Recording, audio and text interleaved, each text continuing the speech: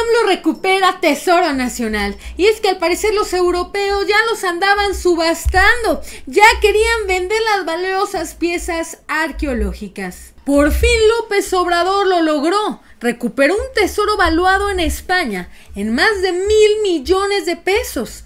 Se trata de la colección más grande de tesoros prehispánicos, invaluables por su importancia en la historia de nuestro país. Estaba oculta en la casa de un socio de Iberdrola. Además, te contamos que en la casa de Gers Manero existe otro tesoro nacional que el fiscal se robó. ¿De qué piezas se tratan y por qué las tiene Alejandro Gers Manero? Aquí te contamos todos los detalles. Bienvenidos al Nopal Times, yo soy Jaque Rojas y hoy les traigo información buenísima amigos y es que el presidente por fin logró recuperar este invaluable tesoro mexicano porque nuestra historia es lo más valioso y por fin un presidente llega a poner orden, a entregar a México lo que se merece y no adueñárselo y llevárselo a su museo. ¿De qué se trata todo esto? Aquí te lo voy a platicar. ¿Listos? Comenzamos.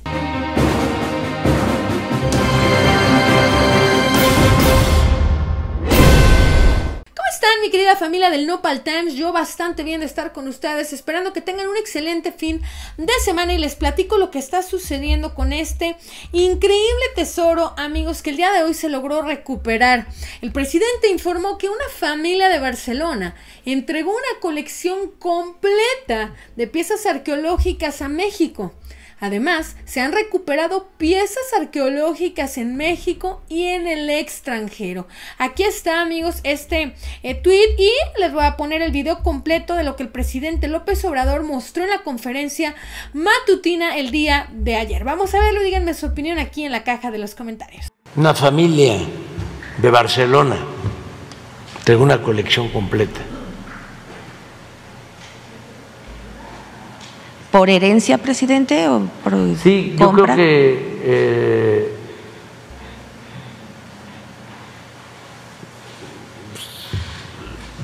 fue una herencia familiar y este, decidieron donar toda la colección a México.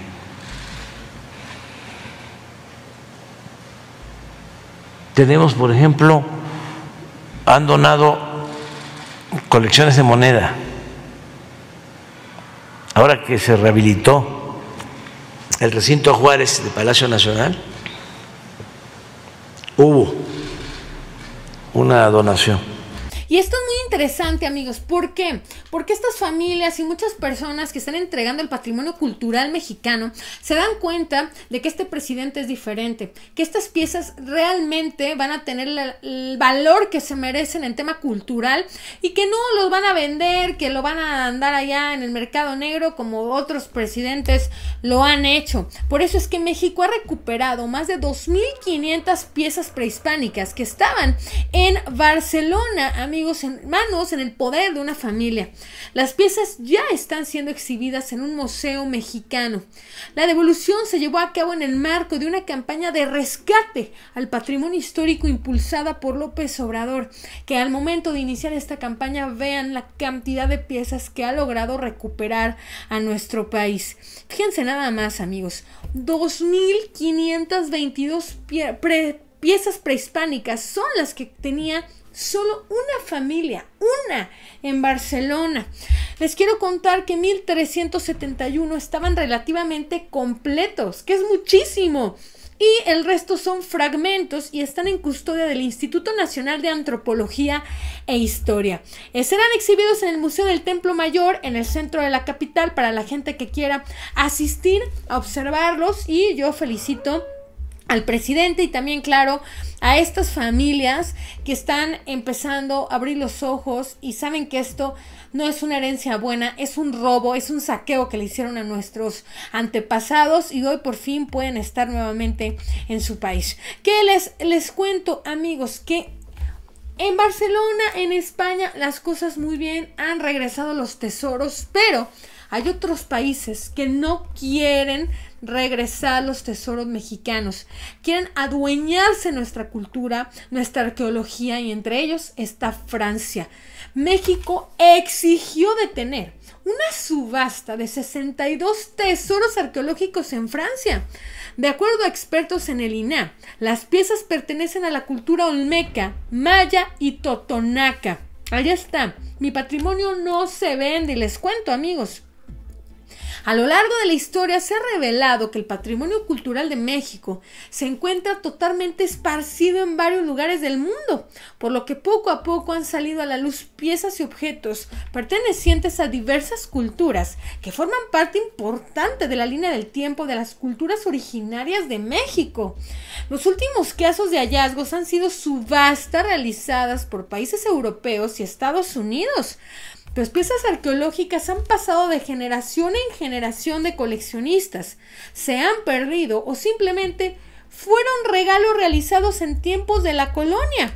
Es por eso, amigos, que el patrimonio cultural de la nación mexicana no se vende y el Instituto Nacional de Antropología e Historia intentó detener una subasta. Reprueban totalmente que en Francia quieran vender todo esto. Esta subasta se iba a llevar a cabo el 22 de noviembre, amigos. Estamos ya a días de que esta subasta se fuera a realizar. Entonces aquí vemos cómo muchísimas personas están comenzando, amigos, a detener esta eh, venta de cultura mexicana. Incluso el presidente López Obrador reconoció que existen asperezas con el gobierno francés por oponerse a la devolución de piezas históricas.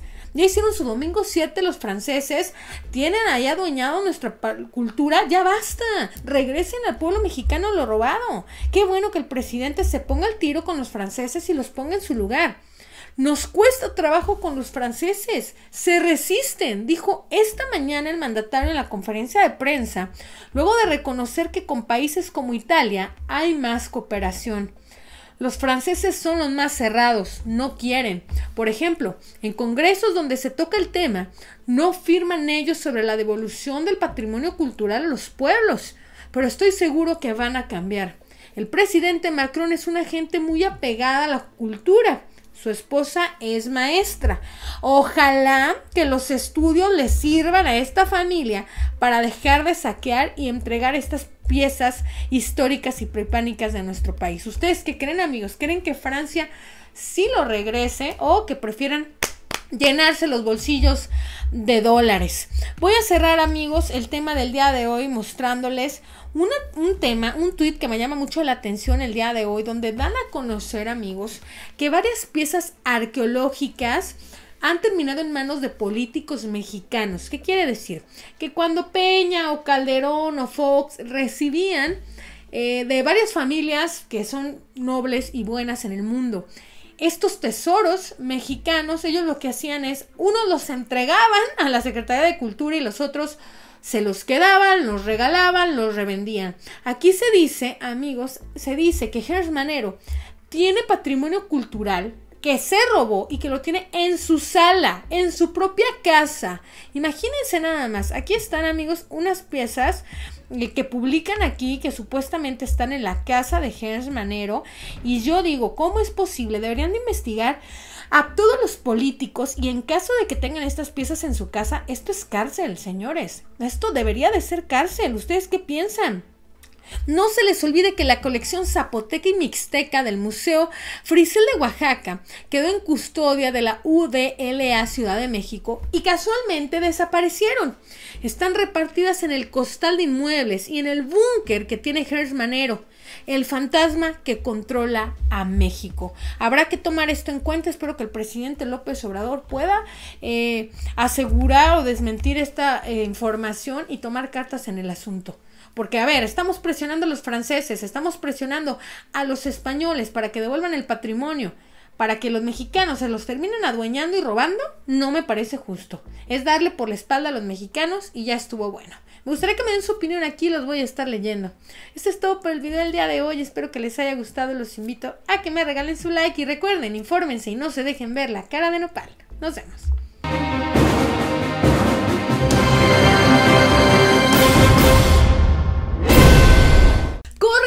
A Enrique Alfaro, le exigen que agarre sus cosas y se largue de Jalisco. Y es que el señor sale a culpar a López Obrador de todas sus cochinadas y no solamente esto, sino que incluso se burla de la marcha de este 27 de noviembre. Vuelve el pelón a las andadas. Alfaro se volvió loco y vuelve a reventar al presidente López Obrador y lo manda a su rancho a descansar. Tenemos las declaraciones que le están dando la vuelta a todo el país. Es inaceptable